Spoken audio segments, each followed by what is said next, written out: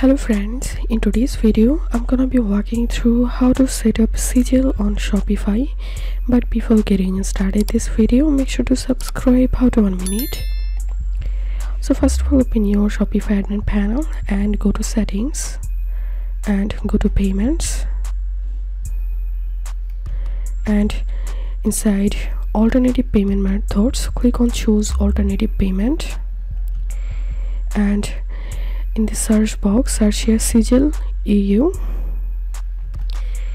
and now give here your public api key and private api key and you will get this key on your Sezzle account. And you can uh, select or deselect payment methods. And then click on active Sezzle eu at the bottom right side of the page.